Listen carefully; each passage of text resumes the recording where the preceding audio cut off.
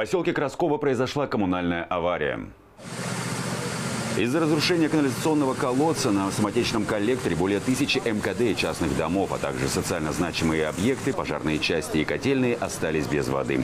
Инцидент произошел вечером 25 апреля. Сотрудники Люберецкого водоканала оперативно приступили к ликвидации последствий аварии.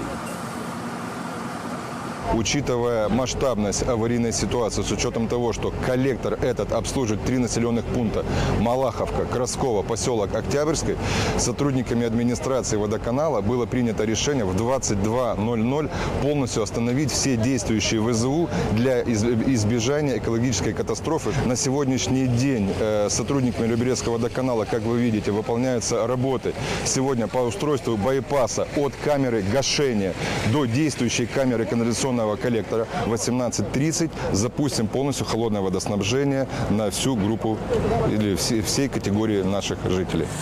Для того, чтобы обеспечить жителей поселка Красково, Малаховка и Октябрьский питьевой водой, достигнута договоренность с сетью киосков «Ключ здоровья». Люди могут бесплатно получать воду в любом объеме.